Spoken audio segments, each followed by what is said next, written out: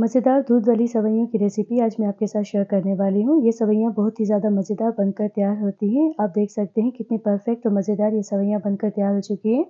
तो इस रेसिपी को बनाना स्टार्ट करते हैं। सबसे पहले मैंने दो पैकेट सवैयों के लिए हैं। अगर आप चाहें तो इसे कम या ज़्यादा क्वान्टिटी में बना सकते हैं।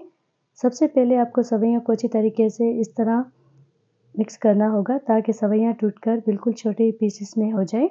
दोनों सब्जियों के पीस को मैंने अच्छी तरीके से क्रश कर दिया है।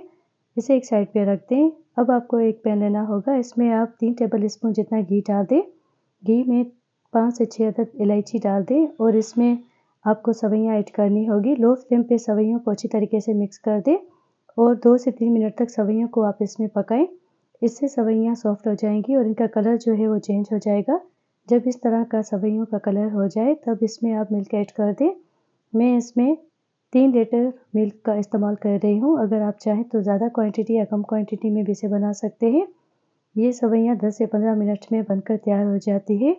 बहुत ही ज़्यादा टेस्टी और मज़ेदार ये सवैयाँ बनकर तैयार होती है। आप जो है घर में इन्हें आसानी से बना सकते हैं। तीन जग जितना मैंने इसमें मिल्क ऐड कर दिया है, ये तमाम मिल्क ऐड करने के बाद तीन कप जितनी मैं इसमें शुगर डालूँगी, जितनी आप मिठास पसंद करते हैं उस हिसाब से इसमें शुगर ऐड करें।